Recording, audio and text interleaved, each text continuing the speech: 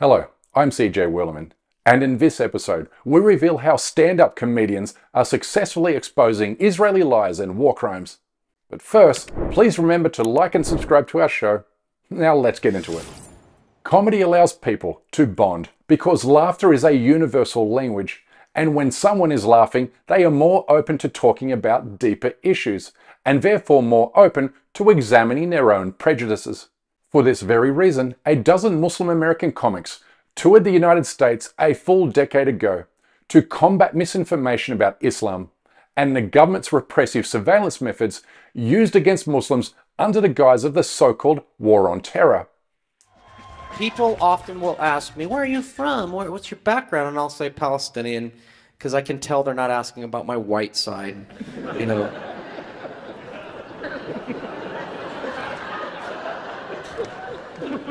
And to be honest, they don't, there's not, there's not a lot of follow up questions when you say you're Palestinian. Neither will I.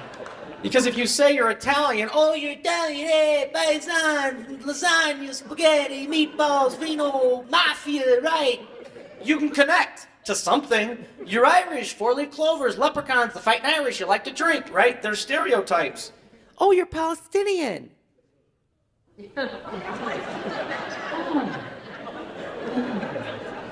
Yeah, that's a tough situation. Like, I would be okay with a follow-up question like, So, what kind of rocks do you like to throw? Do you have a preference? Like an igneous rock or a sedimentary rock or or do you just throw rubble from your broken home? Do you just prefer that? Today, the broader comedy world is joining in on the act and using laughter to shine a light on Israel's criminality and barbarity. But before we present our showcase of comedians, it's important to identify what's most definitely not funny. That the Zionist state's genocidal operations have now surpassed one full year, resulting in anywhere from 50,000 to 350,000 casualties as Israeli military aggression extends into Lebanon and beyond. We are talking about a colossal and inexcusable level of death and destruction, leaving Palestinians and the people of southern Lebanon vulnerable to starvation, disease, and despair long after the bombs stop falling on Gaza. The good news is the Western world is finally hardening its views towards Israel, leaving the Jewish state on the brink of collapse. But in a desperate effort to save itself from diplomatic and economic isolation, the Zionist regime has sent its Hasbara efforts into overdrive, spending more than $70 million on YouTube ads during the first weeks of the genocide alone, while also funneling millions of dollars more towards online personalities and influencers to repair and rehabilitate the country's reputation and brand. Our job then, as morally guided activists, is to counter the Zionist state's propaganda campaign and to ensure the entire world never unsees or forgets the unmistakable evil Israel has unleashed against Palestine and Lebanon, which is why prominent stand up comics are now using their unique skills and talent to shine a light on the lies that underpin Zionist Hasbara, as beautifully articulated here by famous British Jewish comedian Alexei Sayle. If you see anybody advocating for Israel on the TV or radio, one of their repellent spokespeople say, then they will be lying, because that's what they do. They lie and they lie and they lie and they lie and they lie and they lie and they lie and they lie and they lie and they lie and they lie and they lie and they lie and they lie and they lie and they lie and they lie and they lie and they lie and they lie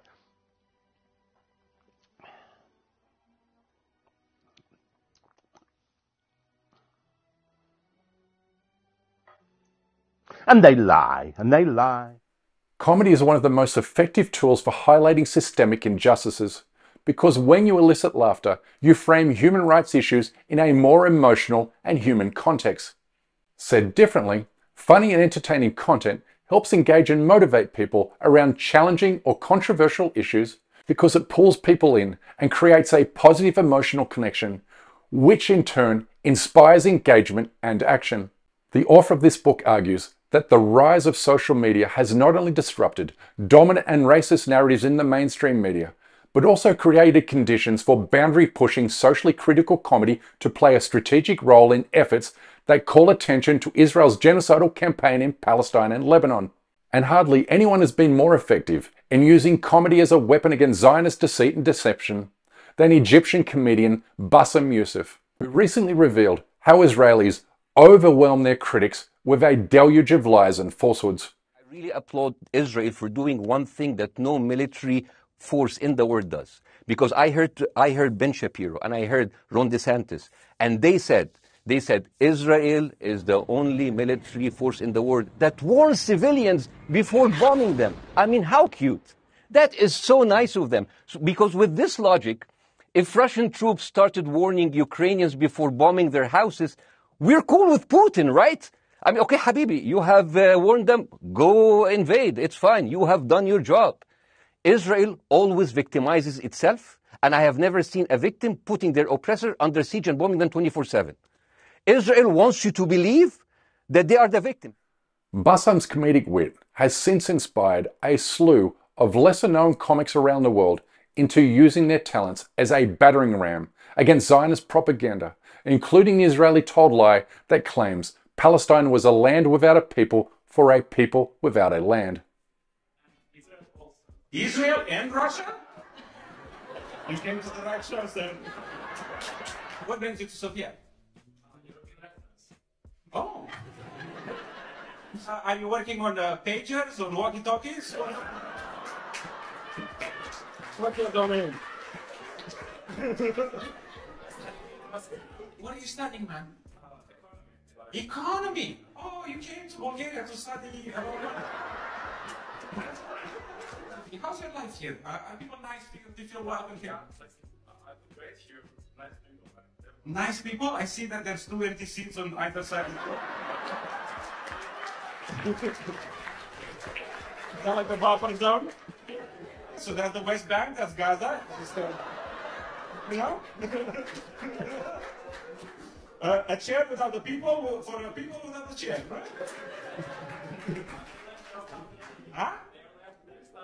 They left their stuff here, and you're like, it's mine now. It's a, it's said in the Bible, 3,500 years ago. I own this chair, I own this chair, I own all the chair. American comics who stand with justice and against Israel's occupation have expressed frustration towards other comics who are hesitant to talk about Gaza on stage, particularly comedians who pride themselves on standing up for free speech. One pro Palestinian comedian asked, How can they boast about being a comic who talks about what's happening in the world while not talking about the greatest moral conundrum of our time, the genocide in Gaza? End quote. Encouragingly, however, not all American comics have cowered in the face of Israeli threats and pressure, with New York based Phil Chapman delivering this knockout punch against Israel's international law violations. Take in an uh, Israeli refugee because I'd be a bit worried. Do you know what I mean? First thing I'm giving him a shelf from the fridge, next thing you know, I'm sleeping in my own shed.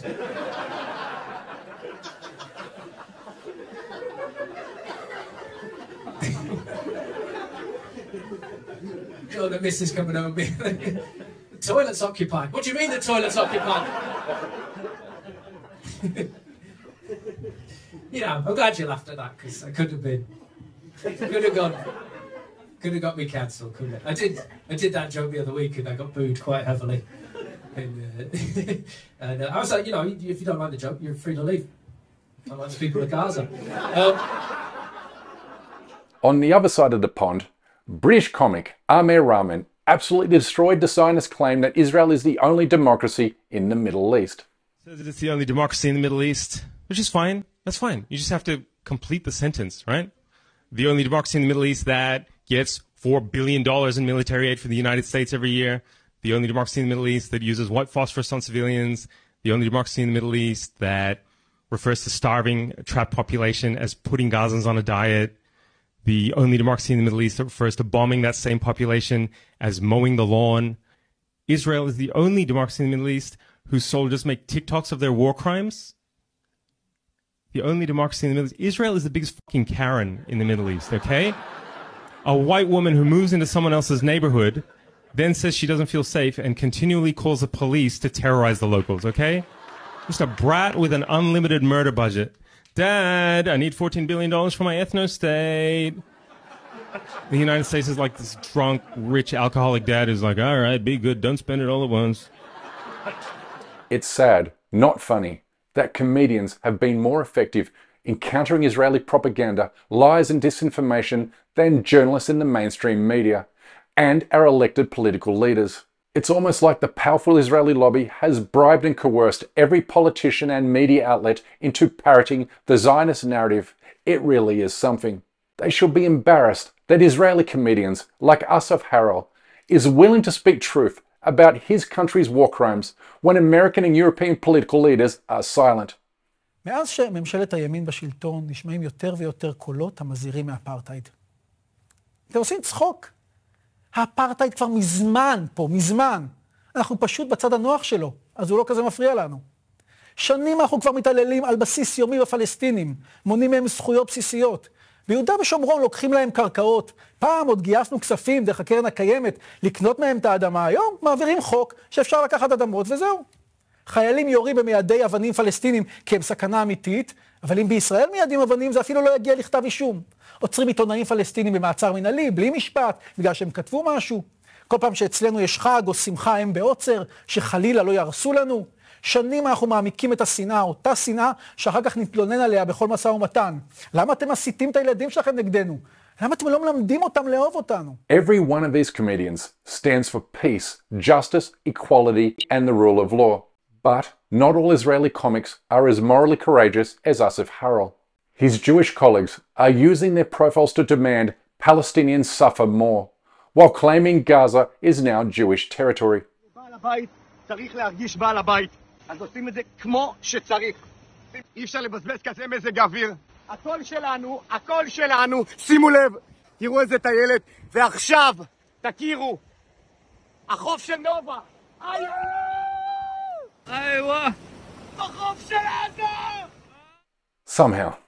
Zionism has misled Israeli comics into believing that punching downwards onto victims of oppression and injustice is clever, insightful, and amusing.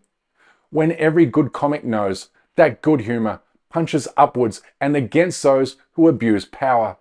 And no state has abused its military power more than the apartheid state of Israel. It's totally oblivious to the fact that comedy was successfully deployed by anti racist activists in apartheid South Africa to build a coalition of global support against the white apartheid regime in the 1980s.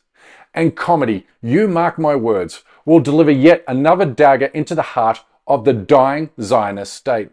But that's my time for today. Please don't forget to subscribe to this channel, and we kindly ask you please support our effort to expose and confront injustices in the Muslim world by becoming a member of this show at patreon.com slash cjwerleman. We can't produce, sustain and grow the show without your help and we offer exclusive benefits and content to those who do. But for now, good night, good morning, wherever you are, and stay blessed.